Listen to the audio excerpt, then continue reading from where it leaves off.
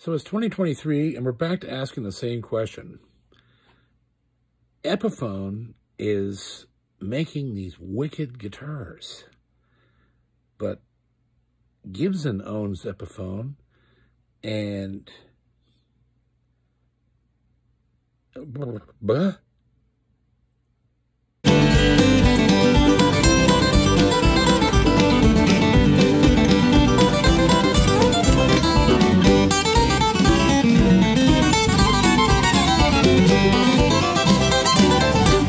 Guitar stuff with John. Welcome to Guitar Stuff with John. Good to have you back here in 2023.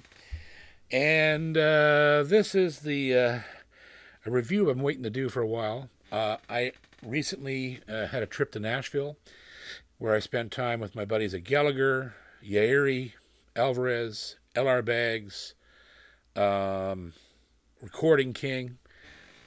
It was a great trip. I got to hang out with all the dudes from all the companies, and they're just great. It's they're fan, all fantastic people to work with and they're so into guitars, man. They're so into guitars, and I just love that. Uh, so one of the places I got to go, which I had never been before, was the Gibson Garage. The boys at the garage are pretty happy. they are they are really into their jobs. They're they're all mostly young guys, and they they just love their job. They they love building guitars. They're proud of the Gibson line. They're proud of the Epiphone line. They're proud of everything. They just like this is what we do. We love this. We love what you do. Come on in. We got things to show you. So I was able to I had a fantastic meeting with those guys and uh came away from the meeting with a with a guitar and I it was a gift from them and I really appreciate it because it completes my collection of the inspired by Gibson line that I've been screaming about for 3 years. Um, the I've always said, and, and, and it's, it's been funny, and I've and I said I told them to their faces that, you know, some of these Epiphone guitars, this, these inspired by Gibson models, are are in my opinion beating out the Gibson guitars in some, especially for price. Of course, you can buy spend four thousand bucks on a on a on a Gibson, and because because Gibson is is is putting out tens of thousands of instruments you have to pick and choose to find the right one for you. Maybe this one's a dud. Maybe this one's a little different. Maybe this one is whatever. It could take you a long time before you're ready to put out that money. But let me tell you something. The Epiphone inspired by Gibson series is crazy good for the money that you pay for the guitar. And this last one is really interesting because it never was a Gibson. This was an Epiphone, always was an Epiphone, right? Uh, and, and, and, this falls in line with the Frontier and the Excellente, which were always Epiphones. And so they're they're letting Epiphone go back to building these really good quality guitars that are above and beyond the normal Epiphone that you'd find for three or four hundred bucks in a music store they built the Excellente, they built the Frontier. And now, this last one is the Texan. This is the Epiphone Texan by Epiphone, designed by, by Gibson, built in Indonesia like the other ones are. It's solid back and sides, mahogany. Mahogany neck, rosewood fingerboard, backwards rosewood bridge, wicked beautiful sunburst. And this guitar sounds just like an Epiphone Texan should sound. It's a and there and it's in my opinion, if you go back and listen to the old Texans, this guitar captures all that personality. Listen to how it sounds. It's vintage as hell.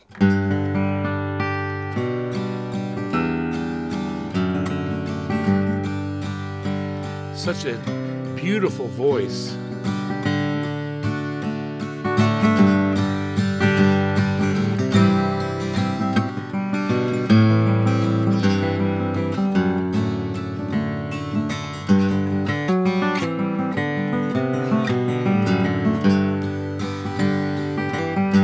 I love it because it's so that it sounds it's dead sounding like the old guitar sounded. It has that classic um like short attack that these guitars were famous for and that were were immortalized by Paul McCartney playing yesterday on one of these things. This is what he played it on. Was an Epiphone Texan. As far as I know, I can't remember I don't think it was an, it was a Gibson. It was an Epiphone Texan that he played, and this is the guitar that created that magic sound, right?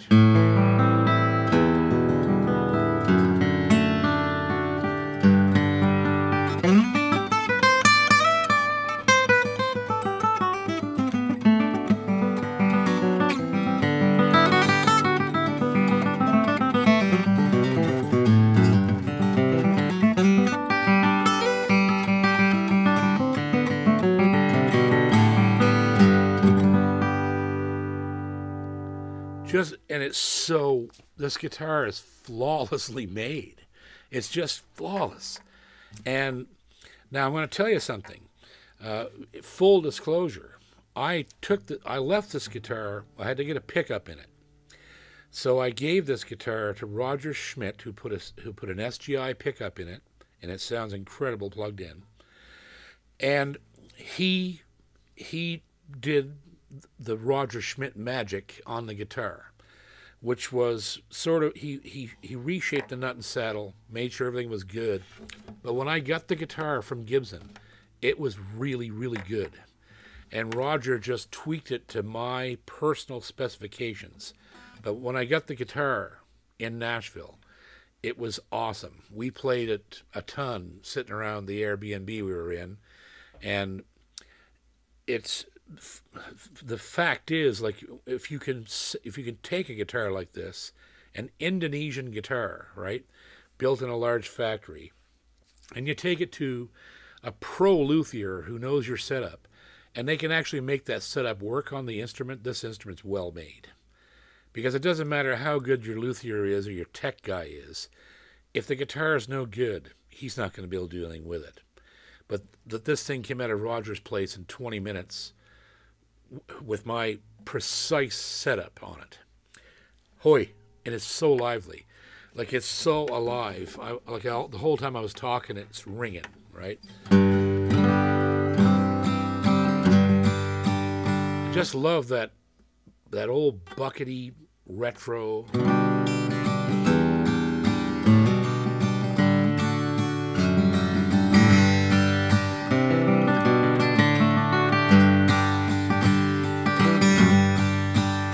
This this guitar is the perfect guitar for singer songwriters, um, fingerstyle, Delta blues.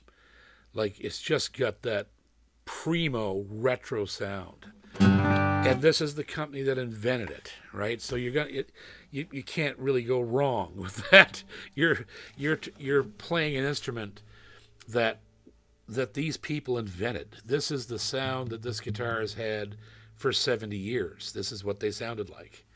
And uh, they nailed it. They nailed this. It doesn't, it's better than the old ones in strange, you know, subjective ways, but it still retains all that old.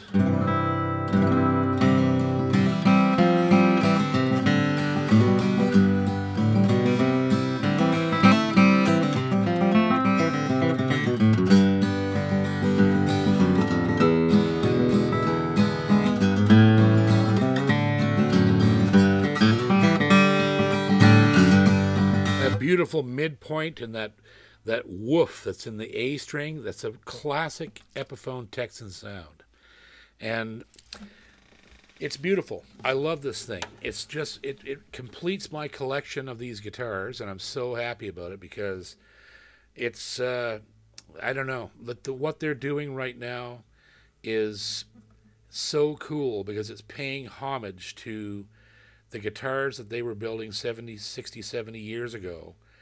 And they're bringing that all that sound and technology into present day and presenting instruments for very little money. Like I said, this guitar only costs about 900 bucks US, 1200, 11, 1200 Canadian. You're you're buying a piece of history and it's a great instrument for that money. If you can't afford a Gibson or even, you know, if you can't afford an Excellente or a Frontier because they're they're going up in price. They're up around $1800 now Canadian. If you can't afford that, this is another classic Epiphone guitar, the Texan, right? So let's take a close look at this thing, and uh, you'll see how well it's built. It's just flawless. So let's let's take a close look at it. So here we are at the headstock of the inspired by Gibson Epiphone Texan. Now, the thing about this guitar is the Texan was never a Gibson. The Texan was always an Epiphone. This is the guitar that was played by Paul McCartney. Uh, John Lennon used Epiphones. Uh, you can tell that this is the inspired by Gibson level of this because of this strange and beautiful satiny finish. Um, but it's got this, you know, the standard Epiphone headstock, the nice mother of pearl inlay there, the Epiphone truss cover plate. It has a bone uh, nut it has the Gibson style, Kluson style tuners here. And these are, I'm not sure what they are. They are, yeah, they're deluxe something or other. They have the inspection made in Indonesia. This is how new this guitar is. Never took the stickers off it.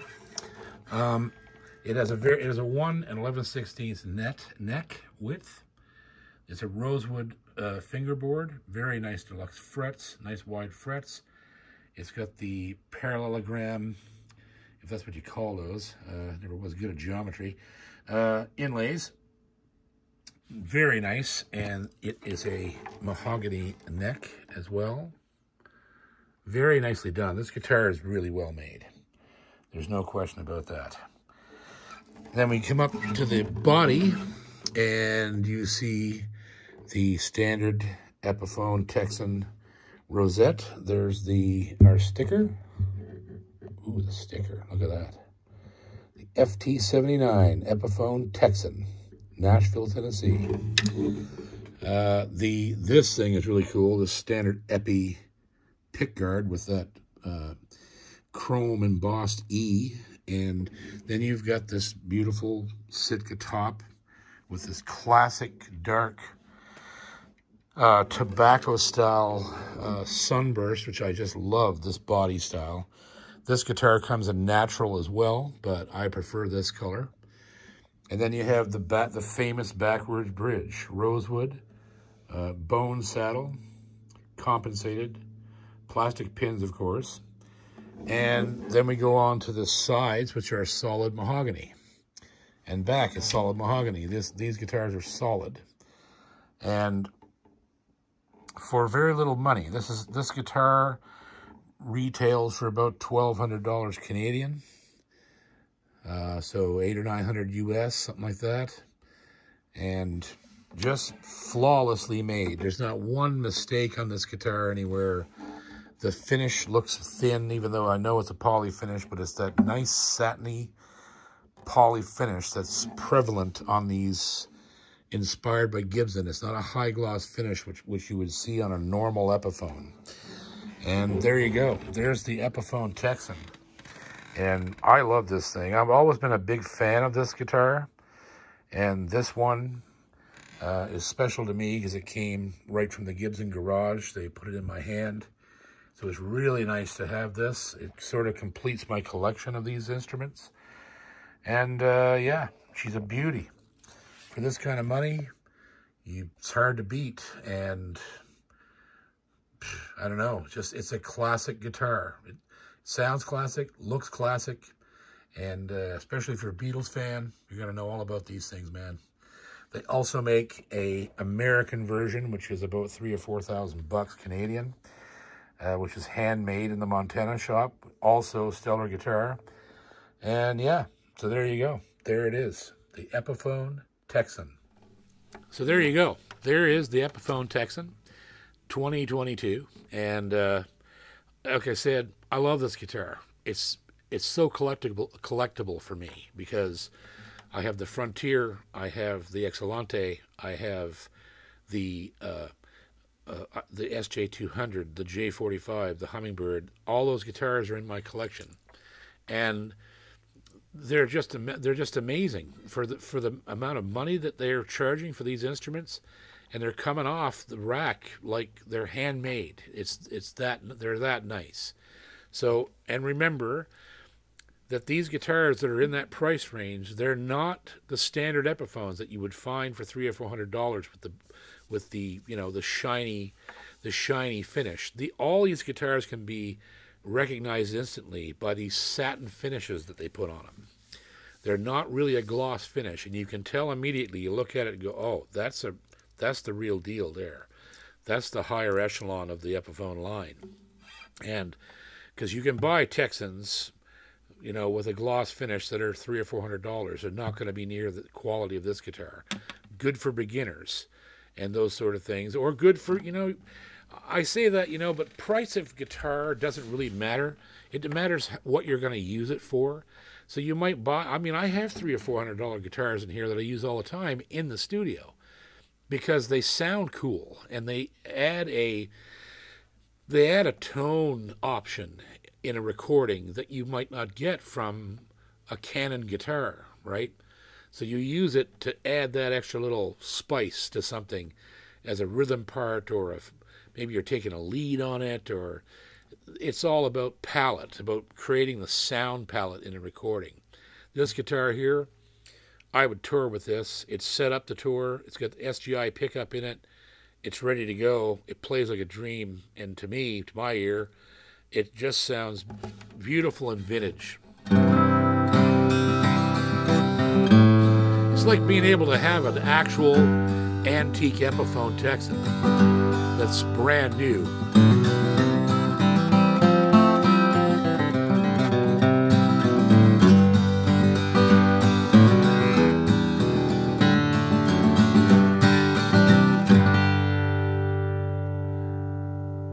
Ah, the the decay of it it reminds me so much of the Beatles because they used these guitars on their records way back in the 60s and the way those guitars decayed you know you could tell what they were they didn't decay like a Martin or or even a Gibson those Epiphone those old Epiphone guitars man they just had this personality and this captures 100% of it so there you go, boys and girls.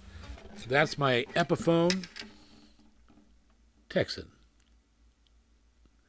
And I thank everybody at the Gibson Garage, uh, Mr. Ladner, and the crew down there for putting this in my hand. They didn't have to do that. I didn't go in there for that. And they were like, you know, take this with you. We really love what you're doing for us. And so there you go a big shout out to Epiphone, a big shout out to Gibson. I I haven't reviewed any actual Gibsons yet on the channel, but I'm they want me to, so I'm probably going to. If you have any ideas about what Gibson you'd like me to review, put it in the comments below, and I'll, and they'll send it to me. Uh, they'll send it to me with a return label, and I'll ship it back when I'm done. Uh, so if you do want to see Gibsons on the channel, ask me. I'll I'll see what I can do about getting them up here to Canada.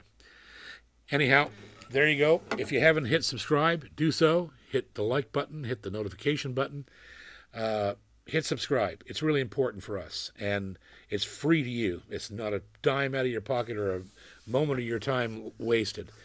And uh, go into your local shop and do yourself a favor and find some of these guitars, whether it be the Texan or anything on the in the inspired by Gibson line. You will really really be impressed. Or any of these reissues, the Texan, the Frontier, the Excellente, they're great guitars, and it's it's time. You you don't know how long this is going to go on before they quit doing it, and that's why I have stri- strived to get all these guitars in my collection because I don't trust them to quit to at, at any moment. so many companies do that. They build wicked guitars for two or three years and they're like, ah, let's move on to something else. And then there you're you're gone. Then you're looking for them used and sometimes the price goes way up. Go get one now, and then you have it. And go play one. Make sure it's, it's good. Make sure it's what you want. Uh, they're all different. You know, not everyone's perfect. Not any guitars all are perfect, except maybe Boucher's. But anyhow, the uh, the Epiphone Texan reissue, about nine hundred dollars US, somewhere's in there, twelve hundred Canadian.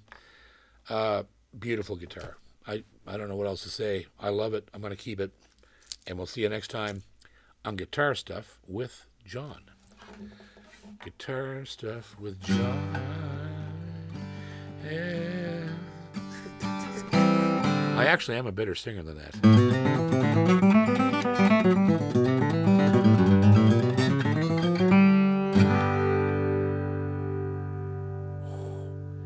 Just love that. Love the way that sounds. See you soon.